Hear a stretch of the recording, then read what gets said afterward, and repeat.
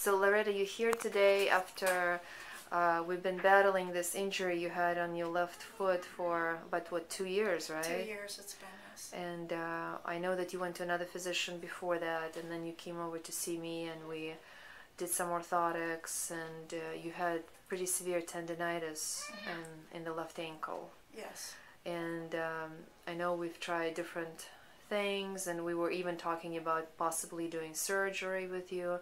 And then we decided to try our new muscle laser that we have. And you had just one treatment, right? Correct. So, how much better are you? I think I'm about 90% uh, better, you know, Mm-hmm. almost almost healed, and that's pretty miraculous. When I came in a few months ago, I thought I was going to be facing surgery. Mm-hmm. And with the orthotics and the uh, laser treatment, only after one treatment, within 24 hours, I felt considerably better. Mm-hmm. And I'm happy for you, but I think that honestly, it's a combination of orthotics and the laser. I don't think it's the laser by itself. right. You know, I think because we know it's a biomechanical issue, mm-hmm. and we know that if we don't correct that, eventually it always comes back. Right.